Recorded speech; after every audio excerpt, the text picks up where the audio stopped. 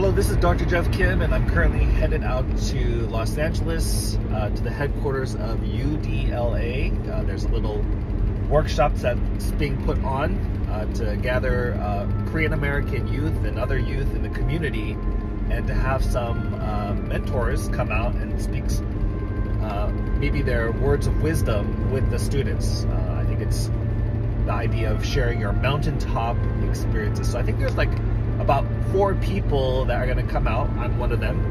And each of us will share about 20 minutes. There'll be a Q&A and a lunch afterwards.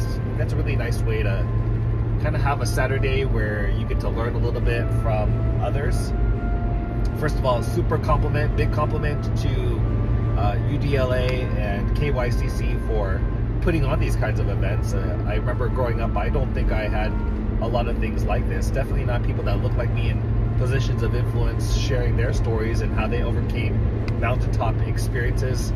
I think these types of stories and the telling of these stories and these testimonies, I think that's very important.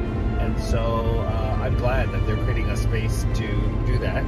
Uh, for myself, um, I'm, I'm, sure I have a couple of different mountaintop kinds of experiences where I felt like, um, you know, I was able to uh, overcome, strive, and overcome but the uh, the mountaintop experience I'm thinking about sharing about is um, the development of our Korean American Studies program. As you know, uh, it's a course that has never been created in the United States of America, and so uh, when I think when you're creating something new, paving a new way, uh, I I do think it's kind of feels like a mountain. Definitely, it felt like a mountain to me before I got started. For but a part of this journey did include reaching out to so many different people uh, leaders and community leaders and parents and students and all working together to put this course together.